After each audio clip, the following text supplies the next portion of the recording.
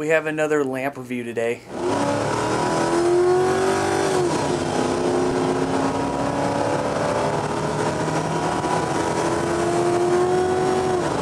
How's it going guys? Cory the Random Guy with you here today. And the wife is sitting at her computer playing games, doing whatever. Today I want to show you a floor lamp that Lepower had sent me to review. I'm going to give you guys my honest opinion about it.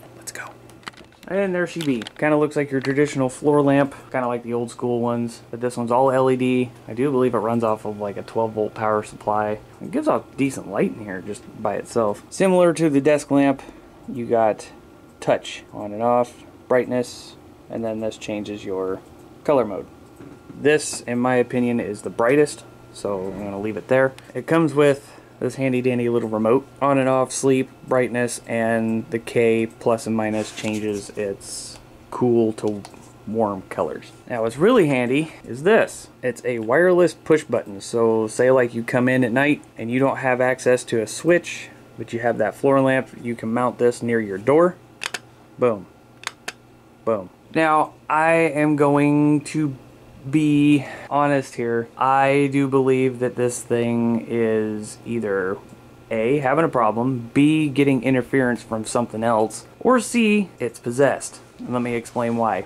Since having this thing, it has turned on and off by itself at all hours of the day. We could be sleeping and the thing will turn on, wake me up in the middle of the night, and it'll turn off on its own. It's really weird. I don't understand why it's why it does that. I would like to know what frequency this runs on because maybe it's just picking up some sort of interference in the house and it's causing it to think, oh, this button's been pushed, let's turn on. Would I recommend this light? Yeah, I would. I mean, if you don't mind it turning on and off in the middle of the night, on you, or turning off when you're trying to do something, or turning on when you don't need it on, or whatever. Or just turning it on and right back off.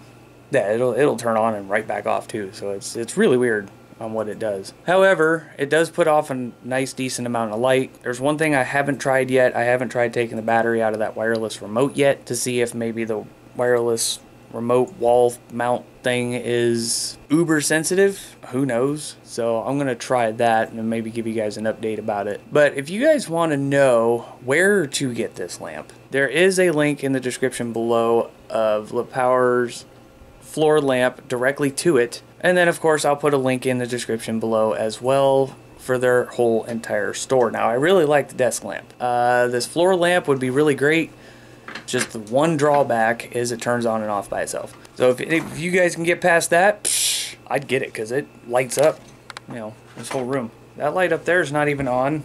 The desk lamp is not on. The wife's desk lamp is not on. So I do believe there is a code a coupon code on their store for that light. I'm not 100% sure. Um, I think it's like 20% off maybe if there is. But if you go to their store, you'll see the little box down below. And this is a short little video. I mean, there's it's it's just a light, really, honestly.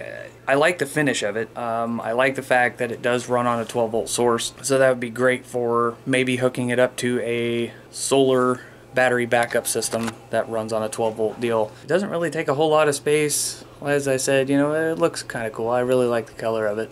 I don't know if they have any other options though.